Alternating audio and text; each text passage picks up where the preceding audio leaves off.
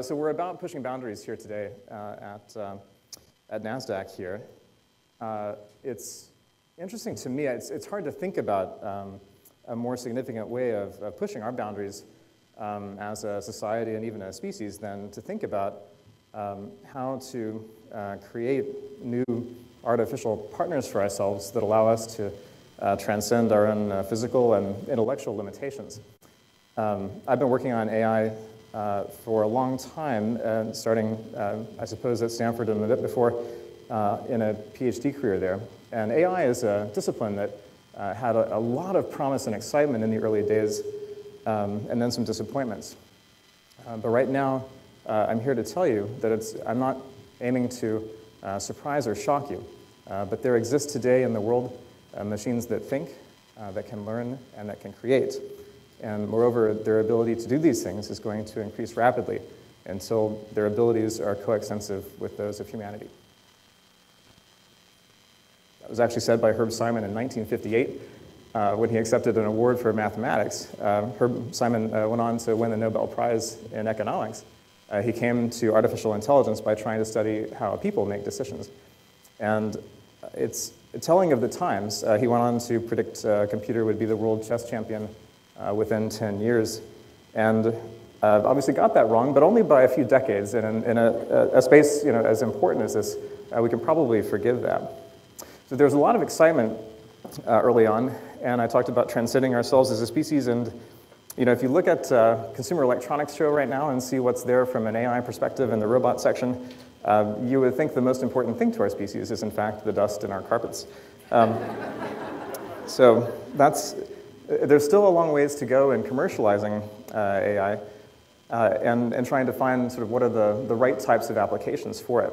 You know, I think in the, in the 50s and 60s, uh, the, the early um, practitioners and inventors of AI imagined you know, having conversations with their robot butlers, you know, playing chess with them in the morning if they were bored. And I think what we're finding is that um, uh, it, it, we're bound for disappointment if we really want to construct you know, full replacements for uh, our, the favorite humans in our lives. Uh, but there's a lot of things that we do that when you look at it, you just wonder, you know, did we really need to be human to do that? And is it even you know, worth our time to do it? Uh, so I'm, I'm, sure we can put vacuuming uh, maybe in that, uh, in that, in, that, segment, except part of my brain says, except for my mom, whose passion in life is vacuuming. so, um, so when I was young, um, I, in the 70s, I mean, there was a ton of um, you know, boundary pushing in, in science fiction and popular culture around you know, what AI uh, space travel might yield. Um, as a kid, I was terribly fascinated by Star Trek and uh, you know, Spock playing chess against the ship's computer. Um, I sort of lacked the experience and uh, supplies to construct an AI system myself, uh, but I overcame that with uh, optimism of a first grader and built, rather, I, I, suppose I tried to build an AI system using uh, my Radio Shack 150-in-1 electronics kit and um, randomness. It, it, didn't work, but it, it could have, I suppose. Um, I, uh, I, got better at it over time. So at Stanford, uh, one of the early programming assignments was uh, programming a 3D tic-tac-toe system. And it was kind of interesting because uh, it's not the full Spock 3D chess, but it at least looks similar. And um, it's actually kind of hard to play as a human, uh, particularly against a computer that can fully search the game space and taunt you in ways like this and saying, you, you will lose in eight moves. You, you may not see it now. And it was, uh, it was funny to be taunted. I, I wrote the program, uh, but uh, as I was playing it, I, I still was uh, inferior to it. Um, Stanford was a fun place in the late 80s, early 90s. Uh, a lot of, um, it, it, would be like studying physics, but at a time when uh, Newton and Gauss were still uh, you know, teaching faculty. Um, John McCarthy was the professor who had coined the term AI a few years before and uh, was still at Stanford and happy to take uh, lowly undergrad to lunch and explain the field and you know, where the frontiers lay. Um, uh, one of his uh, big motives was, was trying to uh, teach computers to learn from their experience. Um, he wrote an early paper called The Advice Taker, that if only you could have a machine that uh, sort of observed, learned, and could also take advice, you could imagine that generic core uh, you know, yielding a, a, lot of proficiency in its performance, whatever the performance domain was. And I think this is really important for business automation. So uh, I think among the first sort of computerized business automation projects was the Hollerith tabulating machine. So in the 1890s, um, we had written it into our constitution that we had to count ourselves every decade. Uh, so it was this uh, inescapable uh, sort of, uh, if you think of software engineering, right, you can shed scope or uh, change the, the, the, release date. We could not uh, avoid the release date of counting everyone, so we had to build machines to do that. Uh, Hollerith tabulated punch cards, you know, on which you could say, you know, where someone was from and other stats that we needed to collect. And the machine would, essentially, it was a system that would store that data, entered into cards, um, you know, count them up once in a while. And if you look at uh, how software evolved uh, from there, even in the 2000s, um, you know, we have uh, software workflow automation tools. Uh, this, is, this is a little screenshot of Salesforce.com. Um, I'm not meaning to insult the company. I, I, worked there and built some of this functionality uh, before it went public.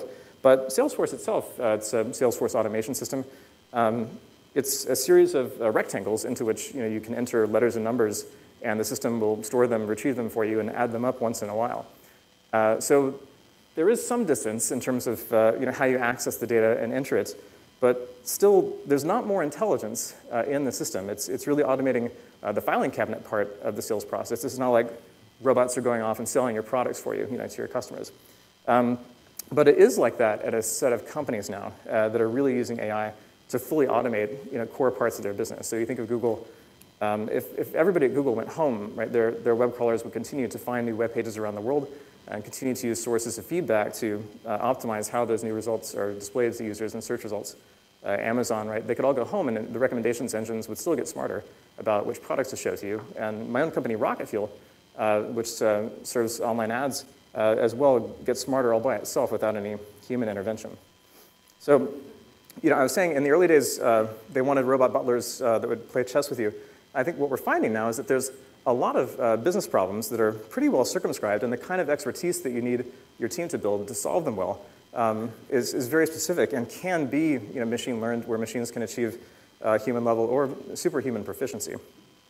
So a lot of problems uh, look like this. So uh, there's a bunch of stuff that describes some situation, and then there's a final, uh, let's say, uh, yes or no. So you might imagine each row is someone who's applied for a loan, and then the final one zero is uh, did they pay it off successfully, or was it their distress and you know, collections efforts? Or you could imagine um, you know, credit cards. Uh, every now and, and then probably your credit card company says, we think you're, someone has taken your card. Was that you that bought gum yesterday? For me, it's, it's always been me. so it's just a little extra overhead there.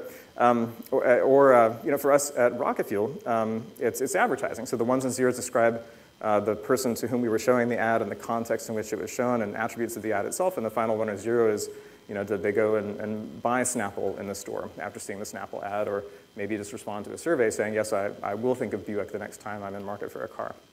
So this has been up for a while. Um, and I'll, I'll, even give you a clue that the, the pattern is only based on the first five bits. Um, does anybody see the pattern?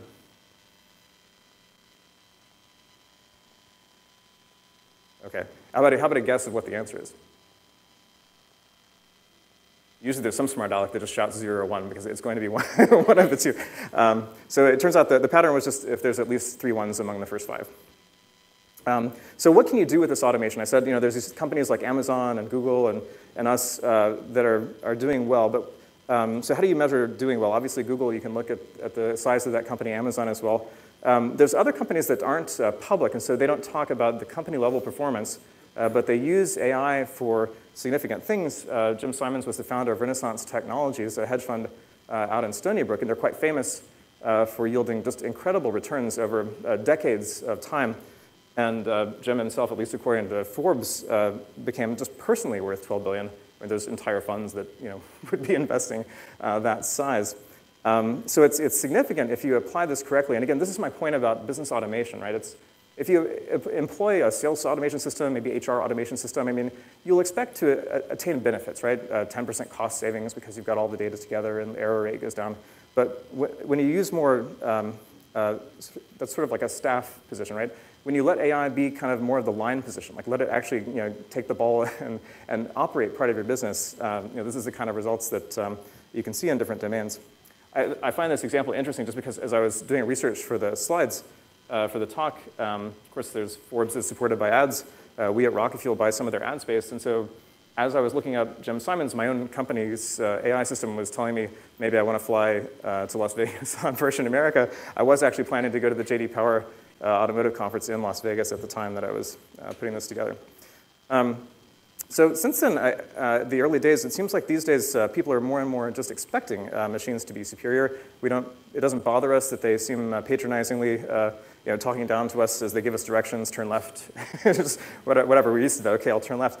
Um, you know, interestingly, uh, just in automotive now, um, used to be a good crash test was when you smashed the car into the wall and energy was transmitted such that the wheels you know, shoot out to the side and uh, nobody's legs are broken. These days, the car simply refuses to be crashed. Um, if you've got uh, auto brake now. Obviously, you know, someday we won't even be touching the steering wheel at all, which uh, a lot of people think is a good thing.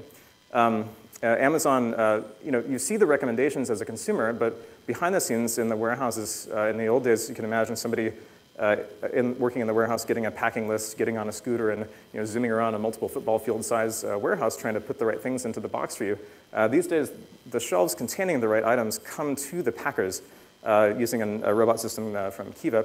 Um, you know, computers can recognize our faces now. Uh, they can handle customer support requests.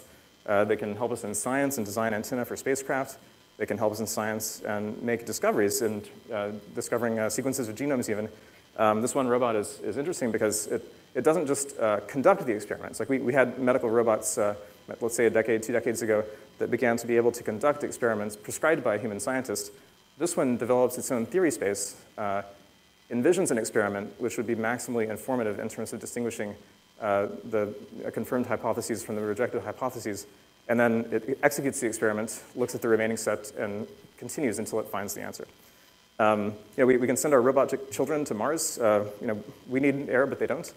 Um, robots can help us now uh, extend our food supply uh, by weeding and thinning crops. Uh, they can see what's going on in our brains, which is a little interesting. uh, you know, bring things to us, uh, cook meals for us, serve those meals to us. And, and yes, yes, uh, vacuum our floors. I just have to, if you haven't, uh, if you don't have a friend with a Neato robotic vacuum, I mean, for sure, somewhere there's a wedding happening this summer. get them a Neato, just so you can go to their house and watch it. It, um, it has a little laser turret in the top so it can map out a room. And uh, it goes back and forth like a human might versus bouncing around randomly. Uh, when it runs out of battery, it goes back home, charges itself, and then goes right back to where it left off and uh, continues vacuuming. And that's, this thing has been in stores, I think, for at least two or three years now. Um, you know, they, they, can humiliate us on national TV. Go was going to be uh, this one game that forever it was only going to be humans that were uh, dominant at it. It was just viewed as, uh, and it's funny, every time AI solves something, it creates this question. Like, we thought that was a human thing that we used to do. Now that robots do it, all of a sudden we're able to change our minds pretty quickly. Like, yeah, yeah, that was actually never really that big of a deal. there's, there's this new thing that's really just for us. Uh, so in the games community, Go was sort of the next game, but uh, the trouble is even Go now, uh, computers are beating human masters. The champion is still human, but you just have to wonder you know, how long uh, that'll be the case.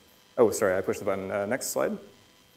Um, uh, this was interesting. Uh, now there's robot uh, anesthesiologists. it's not meant to assist the anesthesiologists. It, it replaces them uh, in a class of operations. Um, next slide. Um, some, some, some follow-up reading, uh, some cool books to automate this and race against the machine. Um, automate this gives a bunch of examples of automation going sort of farther than sort of basic automation used to go. And race against the machine is an interesting uh, piece thinking about what does it mean, uh, particularly in labor now, if machines can take on uh, more and more uh, jobs. Um, will we decide it was a bug uh, that we ever created kind of a selfish society where we have to work hard uh, to get wealth, and if someone else needed it, it's too bad for them. so uh, the more and more uh, we can automate, so I think um, there's, there's pieces now that even say, you know, how long are CEOs safe? Um, uh, next slide. Uh, Manna is a really cool book written by a, a very successful entrepreneur, uh, actually envisioning how does AI begin to invade the workforce, and in fact, it doesn't start by replacing the workers, it starts by replacing the managers. so that strikes fear into the heart of us all. Um, the, the, the, book on the right is actually, um, oops, not yet. Book on the, the right there was actually a book by my advisor at Stanford, Nils Nilsson. If you, those of you who are more academically inclined, it's actually a really good review of many of the academic disciplines as you kind of break AI into different pieces. So I was going to say, back to that point before about in the early days, uh, AI researchers, they, they got a little bit ahead of themselves, you know, imagining a future sort of Jetsons world uh, way too soon before we had the computational power to achieve it, and being called rocket fuel. I mean, it's, it's, it's very analogous to the early days of rocketry. Um, Goddard invented liquid-fueled rockets, which because of the sort of weight to thrust ratios, they could go a lot farther. And uh, he told a crowd uh, that he was going to shoot a rocket to the moon. Uh, that was in 1923. It was amazingly audacious. We could barely fly airplanes you know, at that time. Uh, next slide. Um, he had a test flight. Uh, it didn't hit the moon. And uh, you know, lest you think a cynical press is a, as a modern innovation, the Worcester Telegram in 1929 had the headline, Moon Rocket Misses Target by 238,799 and a half miles. Um, but the dreamers often win in the end. Next slide. So, I think uh, Goddard, uh, Goddard had the last laugh, and uh, thanks to The Onion for uh, you know, speaking truth to power. Um, next slide.